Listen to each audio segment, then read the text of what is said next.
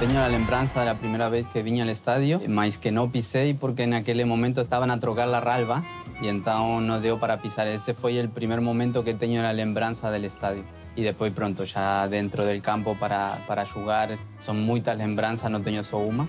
Mas la primera lembranza que tengo del estadio es aquella vez que estaba, estaba la ralva por fuera.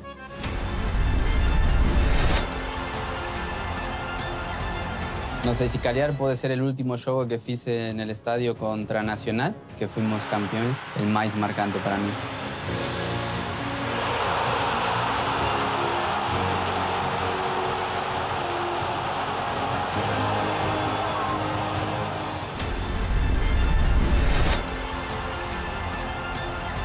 Eh, eu gosto muito de jogar a bola, então saudade de balneário, de entrar a, a, para um jogo, não, o pré-jogo e tudo aquilo, de fazer o dia a dia e depois uma vez que estás dentro, jogar com tus colegas, o reconhecimento também da gente e tudo aquilo também é muito satisfatório para um jogador e isso é o que tenho mais saudade. Sim.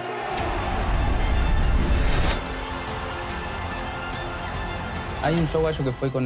Sí, no acho, foi con Sporting, que fue un juego que tenía, un, tenía habido un temporal y, tenía, y fue suspenso para el día seguir o para el otro día, no me lembro. Mas ese día, en, antes del juego, eh, eu y yo que fue Enzo Pérez estábamos a sentirnos un poco mal para competir y pronto fue lo mejor que nos aconteció fue aquel temporal para terminar eh, suspendiendo el juego y pasar para uno o dos días más, más luego que no me lembro cuándo fue más y después el juego corrió bien, claro.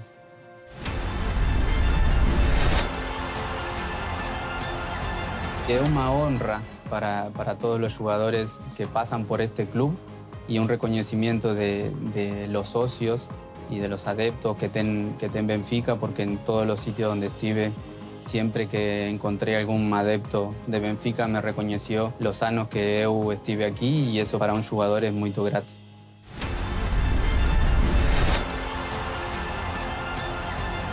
No, fue un, un grande golo porque acho que la finalización de Lima también fue muy boa. Más pronto, son aquellas jugadas que, que acontecen, que va dando con el juego y aquella jugada dio y corrió, corrió muy bien. Até porque el pas meu es con la derecha que no es mi mejor y por eso yo acho que el, lo, lo mejor de aquí también es la finalización de Lima.